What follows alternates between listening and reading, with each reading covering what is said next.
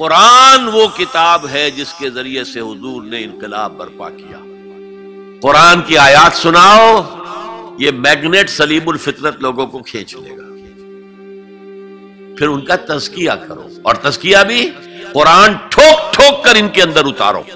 जब ये किसी इंसान के बातिन में सराहत कर जाता है, कुरान दिल में और जहन में, उसके अंदर एक इनकलाब आ जाता है। He is a change person all together